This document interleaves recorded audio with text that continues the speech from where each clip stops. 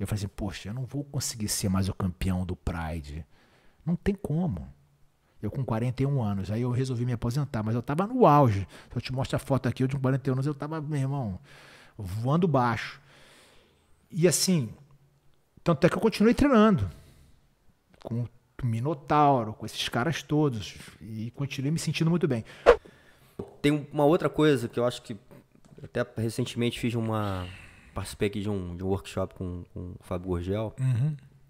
Muito bom, assim, estar tá junto com ele também. A gente teve a oportunidade até de ter essa troca. E, e teve um momento que ele, que ele falou assim, porra, eu achava que eu ia treinar bem para sempre. Inclusive eu vi uns caras falando assim, não, tô ficando velho, não consigo mais. Eu falei, pô, isso é porque o cara não, não, não consegue manter aquele ritmo de treinamento, disciplina e tudo Sim. mais. Mas isso, ele falou assim, porra, mas, meu irmão, não tem jeito, acontece. A gente já não tem mais a mesma pressão, Sim. a gente vai sentindo isso com o tempo. Você sente, como é, como é que é esse sentimento, né, da gente ficando um pouco mais velho? Tô falando isso porque você sempre foi um cara, né, cara, com essa vitalidade, você mesmo falou aqui durante a nossa conversa, né? Mas a gente sabe que tem esse momento biológico do ser humano, Sim. né? E aí também entra uma parte de, de trazer para uma, talvez para uma inteligência emocional, né? O, o, de experiência uhum. que faz equilibrar as coisas, né? Com certeza. É um conjunto de coisas. Eu, eu sempre fazendo uma, uma autocrítica, uma autoanálise, até é meio complicado né, você falar de você mesmo, mas o que eu vejo assim, fazendo, né, fazendo uma macroanálise de fora, olhando de fora, é, eu sempre fui um, uma pessoa que tive. A base do meu jogo era sempre a força, o vigor físico. Sim. Eu tive o privilégio de lutar, de enfrentar atletas muito melhores que eu tecnicamente, muito melhores que eu, sem, sem dúvida. É, eu acho que eu superei muitos desses atletas. É, fiquei anos sem tomar ponto no jiu-jitsu, uma coisa notória, todo mundo sabe. Sim. É, hoje todo mundo fala do Carson Grace, né? Mas eu, hoje o grappler, a minha, da equipe Carson Grace, o grappler que tem mais títulos sou eu. Sou tricampeão mundial do, de, de, do Mundial do Jiu-Jitsu, né? Pela federação. E tenho seis títulos lá em Abu Dhabi. Então. Mas você acha que essa, só interrompendo, porque você, você ah, mencionou o nome do Carson de novo. Ah, você acha que, o, que a visão dele, até sendo diferenciada, assim, né? Da família Grace. Uhum essa visão do, do, do da é, vitalidade é um, é, um, é, um conjunto, é um conjunto de coisas, tá? É, eu vou, eu vou chegar lá, é um conjunto de coisas. Então, assim, eu, eu, eu, tive, eu tive o privilégio de, de nascer com a propensão genética boa para o esporte, acredito eu, né? Sim. E eu sempre impus o meu ritmo com a minha força. Então, ciente disso, que o que eu fiz? Eu comecei a trabalhar o meu físico. Sempre. E o que, que é isso? Dieta, dormir cedo, não, não gostava de beber, de sair muito. Era um, a minha esposa que fala, né? Pô, você é sargento sardinha, não faz nada, não quer sair. E ela festeira, e eu sempre ali segurando. Mas me dediquei muito nesse aspecto da saúde. Hum. E na parte física.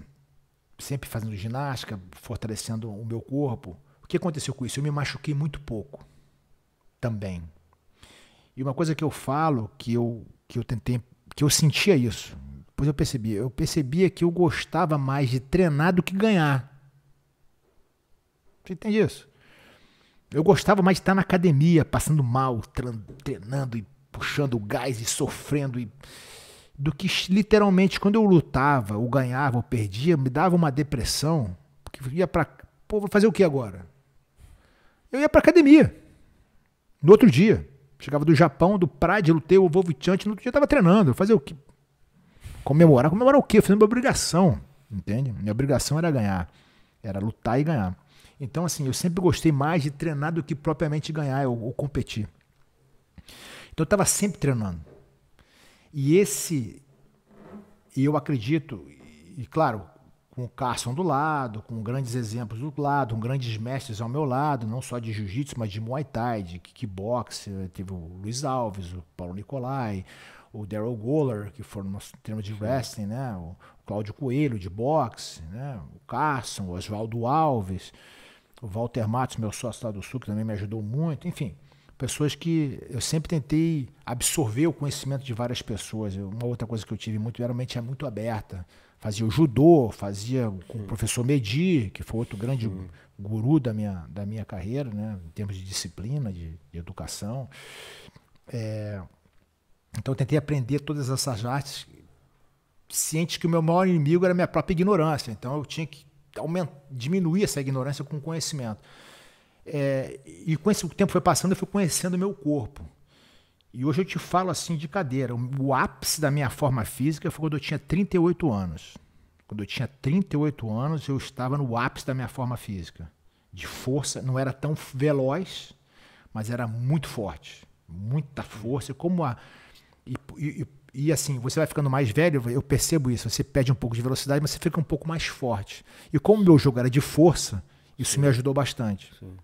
Até hoje, né? Um é, e você já tem uma bagagem ali também de experiência. Né? Sim. Né? Você já chega num amadurecimento também Sim. de cabeça. É, então, então eu já, já sabia mais ou menos, eu fui errando, acertando, mais acertando do que errando, em termos de treinamento, de como fazer a dieta, do que comer, do como se portar, qual o caminho, qual estratégia percorrer. Eu já olhava lá o, olhava o André e falei, pô, o André ele vai querer me botar para baixo, então eu não vou deixar ele botar. Ele, ele, tem, ele, ele é mais alongado, ele vai fazer uma guarda. Então eu já vou você tem um, um olhar mais clínico.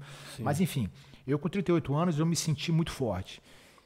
Eu eu senti que tinha uma coisa diferente comigo, foi assim, uma coisa que me incomodou bastante. Foi quando eu percebi que quanto mais eu treinava, não adiantava que eu não ia superar o Arona, nem o Paulo Filho, nem o Minotauro. Então, quando eu cheguei, e foi, uma, foi um erro meu, tá? Foi um erro meu. A minha esposa até hoje ela fala isso.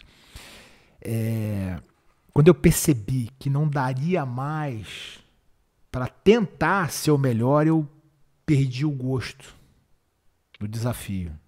Eu falei assim, poxa, eu não vou conseguir ser mais o campeão do Pride. Não tem como. Eu com 41 anos, aí eu resolvi me aposentar, mas eu estava no auge. Se eu te mostro a foto aqui, eu de 41 anos, eu estava, meu irmão, voando baixo. E assim, tanto é que eu continuei treinando. Com Minotauro, com esses caras todos. E continuei me sentindo muito bem. Com 48 anos, eu machuquei o meu ombro e aí realmente eu senti que não era mais o mesmo. Entendi. Com 48 anos eu falei, poxa, eu já estava treinando menos, mas eu estava me sentindo bem. Sim. Mas com 48, menos, com 48 anos eu machuquei o meu ombro, tive um problema estrutural, que é eu tenho é, calo ósseo, então eu, os meus ombros eles são limitados os movimentos. Então eu, eu comecei eu comecei assim, não, Zé Mário, você não é mais o mesmo. E não, e hoje eu tô com 55, né?